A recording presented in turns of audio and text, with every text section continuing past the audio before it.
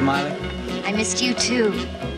What were you doing all that time while I was missing you? uh, being true to you. Always? Almost always. You mean to tell me? I was always, baby, I was always, well, almost always true to you. Met a pretty mademoiselle, my papa owned a small hotel. I was almost always true to you.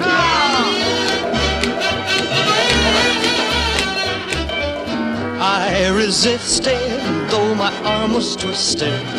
I was almost always true to you. I stayed away from drinking wine, thought about you all the time. Drinking wine all the time, you. Oh, I was almost always true to you.